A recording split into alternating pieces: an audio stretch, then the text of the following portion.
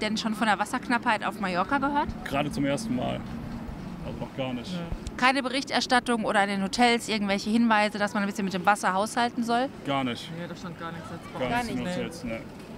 Haben Sie davon schon was gehört? Haben Sie eventuell Bilder von den Stauseen gesehen oder wie gehen Sie damit um? Gar nichts. Keine Info bezüglich der Wasserknappheit. Ich nehme an, Sie verbringen Ihren Urlaub hier auf der Insel? Für eine Woche, ja. Und war Ihnen jetzt auch nicht bewusst äh, über Berichte im Fernsehen, dass es hier so wenig geregnet hat, dass wir einen ziemlich strahlenden Winter im wahrsten Sinne des Wortes hatten und dadurch eben auch keine Regenfälle? Nein, das war uns nicht bewusst. Dieses Jahr noch nicht, aber in früheren Jahren schon, ja. Im Sommer Und- aber, oder, wenn es in den Sommer reingeht. Ne? Und in Fernsehberichten oder im Hotel, ich weiß es nicht, oder seid ihr in der Ferienwohnung, hm? aber kein Hinweis von der, von der Vermieterin?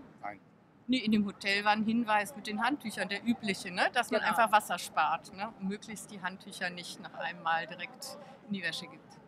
Wann war das? Ach, vor Jahren. Das kann ich Ihnen gar nicht mehr sagen. Aber es war nicht äh, einfach. Aber mit Wasser habe ich sowieso, äh, passe ich mehr auf, das auszugeben. Es kostet ja Geld, auch in Deutschland. Nicht?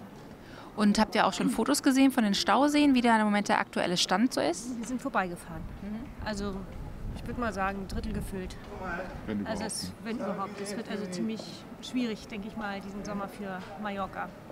Und habt ihr eure Angewohnheiten denn auch dementsprechend geändert? Achtet ihr mehr aufs Wasser? Verbraucht ihr weniger Wasser? Ja, also anders als zu Hause ist Duschen hier Wasser an, ähm, kurz einseifen und kurz abspülen und nicht zehn Minuten lang duschen oder sowas. Also das machen wir schon. Weil das Wasser ist nämlich mal das Gold der Erde. Genau. Und das weiß keiner zu schätzen. Auch bei uns hat, hat Ja. letztes Jahr fast nichts geregnet. Ja.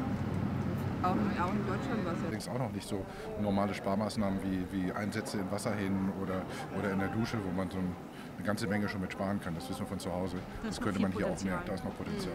Gleiche gilt für Energie. Also Energiesparlampen, LED-Lampen und solche Geschichten könnte man hier noch mehr machen. Bisschen Sonnenenergie